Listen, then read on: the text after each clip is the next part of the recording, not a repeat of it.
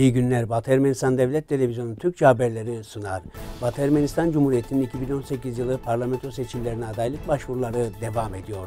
Azerbaycan'daki askeri tatbikatlardan sonra askerlerin tamamı ön hattan çekilmedi. Ermenistan Cumhuriyeti Dışişleri Bakanı'nın New York'taki toplantıları İsrail'i devlet yetkilileri açıkladı. Rus uçağı İl-20'nin düşmesinden sorumlu değiliz. Lavrov, Suriye'ye yapılan her türlü saldırıya karşı uyarıyoruz.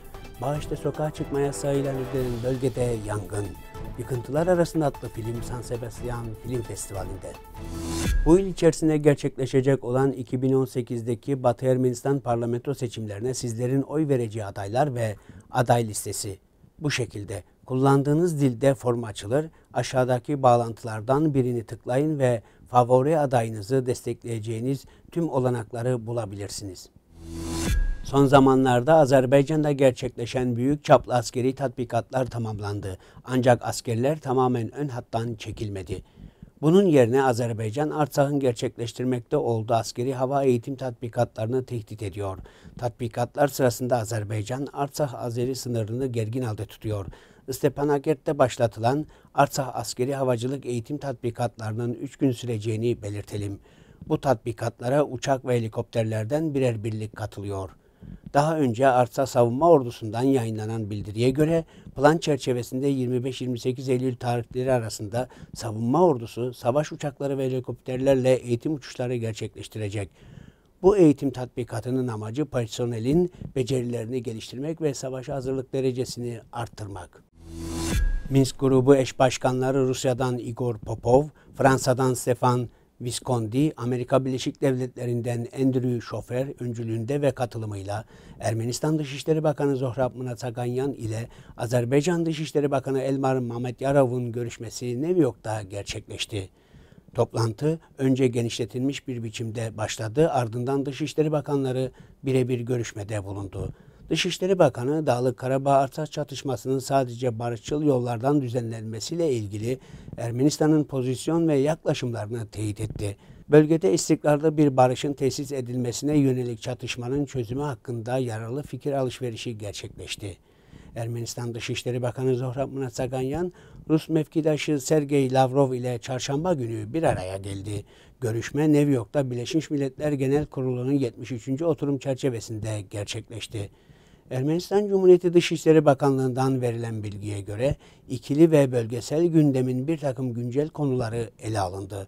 Uluslararası formlar çerçevesinde gerçekleşen Ermeni-Rus işbirliğine özel ilgi gösterildi. Zohrab Mnatsaganyan, Hindistan Dışişleri Bakanı Şuşma Suaraci ile bir görüşmede bulundu.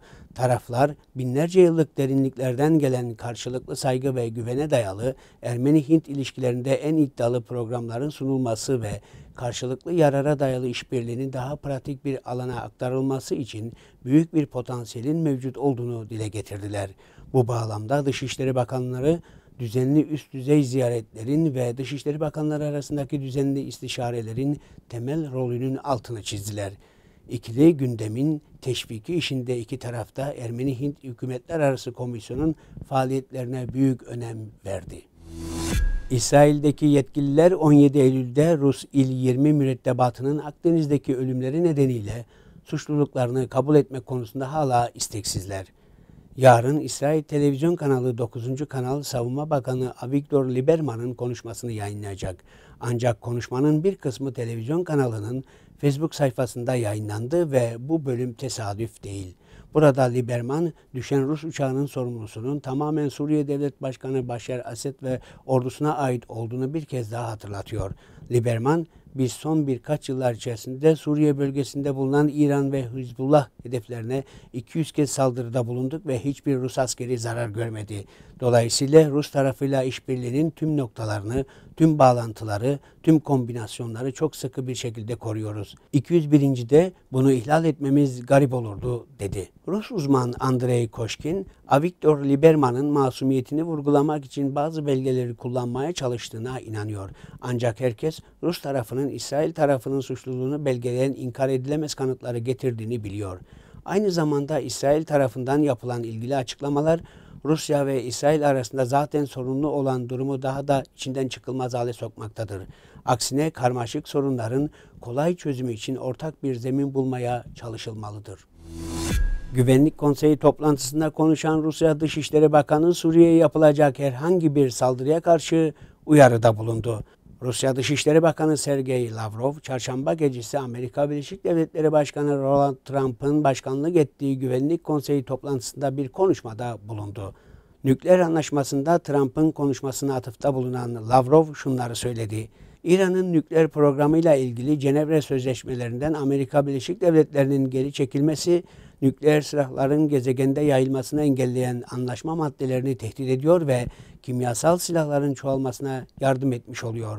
O ayrıca Rusya'nın 2015'te imzalanan nükleer silahların yayılmasını önleme anlaşmasına desteğini yeniledi. Onun sözlerine göre Orta Doğu'nun nükleer silahlardan arındırılması konusunda herhangi bir anlaşmayı Washington şu ya da bu şekilde engelliyor. Rus Dışişleri Bakanı Güvenlik Konseyi toplantısında Suriye'ye yapılacak herhangi bir saldırıya karşı uyarıda bulunarak teröristler Suriye'de kimyasal silahların nasıl hazırlanacağını bile öğrendiler dedi. Bağış'ta sokağa çıkma yasağı ilan edilen bölgede bulunan Sehi ormanlarında yangın çıktı müdahale edilmesine izin verilmeyen yangın yayılarak büyüyor.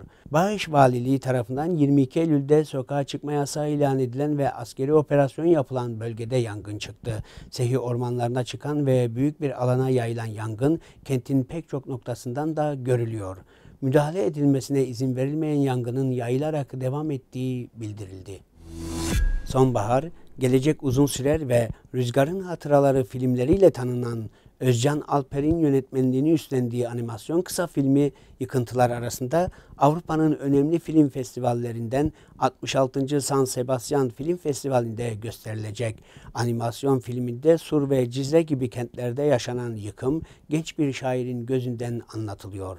25 Eylül'de başlayan ve 29 Eylül'de sona erecek olan San Sebastian Film Festivali'nde yönetmenliğini Özcan Alper'in üstlendiği Yıkıntılar Arasında isimli kısa animasyon filmi de gösterilecek. Son yıllarda Sur, Cizre ve Nusaybin başta olmak üzere kimi il ve ilçelerde yaşanan yıkım ve insani durum genç bir şairin gözünden anlatılıyor. Bugün için bu kadarını öngördük. Şimdi size Bert adlı topluluktan Haygazunileri Barı adlı eseri sunuyoruz.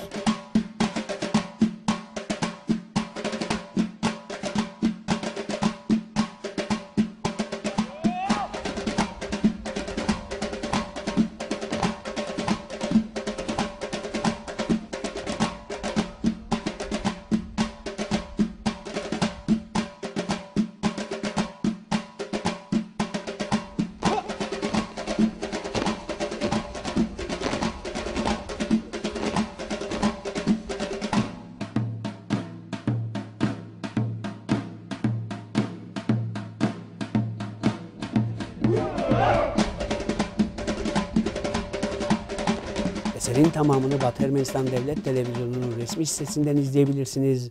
Hoşçakalın.